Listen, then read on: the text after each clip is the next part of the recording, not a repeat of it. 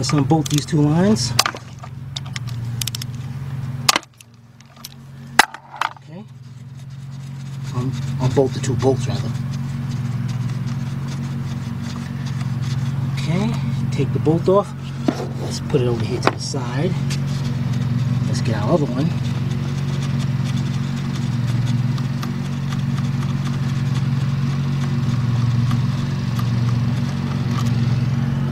Side. Okay, now. Now we can see uh get this line. I got a feeling this line's gonna go from underneath, man. It's white.